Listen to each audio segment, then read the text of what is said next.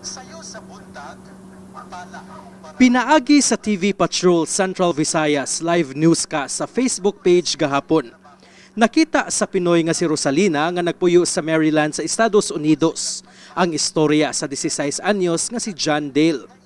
Si John Dale katong tinunan sa grade 10 nga naningkamot pagbugwal og yuta kilid sa ilang panimay sa barangay Talamban sa Dakbayan sa Sugbo. Aron ibaligya, aron may mapalit siyang pangkonsumo sa iyang pamilya ug sa iyang pagtigom aron makapalit og gadget alang sa iyang online classes. Naghimo og namaligya sab siya og kaang. Natandog si Rosalina sa paningkamot ni John Dale.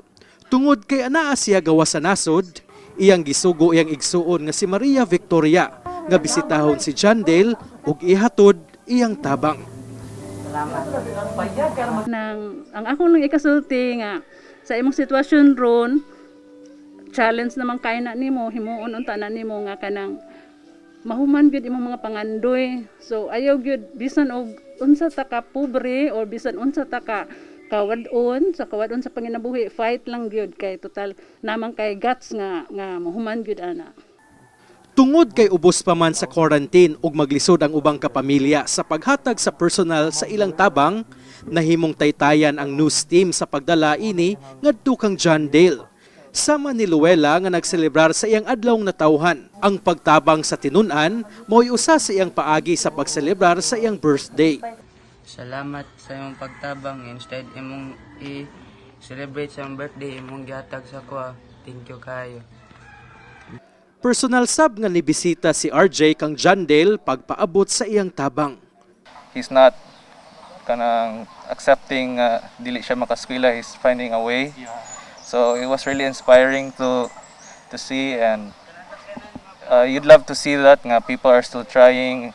He's working really hard Pasalamat sa ko nga kaluyan po sila sa Ginoo. Wa sab makapugong ang apuhan nga si Lidwina sa paghilak tungod sa pagbaha sa daghang tabang alang sa iyang apo ug sa ilang pamilya.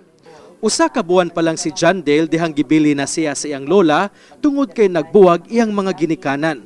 Tindera ug banana Q ang lola sa tinunan. Pasalamat yo ko nga naay tabang na dawat namo bisag sa among kakuan kalisod nagya po ni bate niya. Salamat ko sa tanan-tanan na tabang namo nga wag mi makawang sa among paghangyo. Pasalamat sa ko nga kaluyan po sila sa Ginoo. Puno sa pasalamat si John Dale sa mga nitabang kaniya. Iyang pasalig nga magkugi sa pag-eskwela aron makalampos ug makabot iyang damgo nga mahimong electrical engineer. Salamat kayo kay inyo kong gitabangan. Wa man ko ikahatag ninyo nga balos pero akong ikahatag ninyo pag-ampo lang um, akong ipasalig nila nga magtarong kog eskwela nga ipakita nako nga waday sila nag waday sila nasayop nga gitabangan ko. Ang mga tabang nga niabot kang John Dale nagpakita sa pagkamatinabangon sa mga Pinoy, ilabi na sa nagkinahanglan. Jude Torres, ABS-CBN News.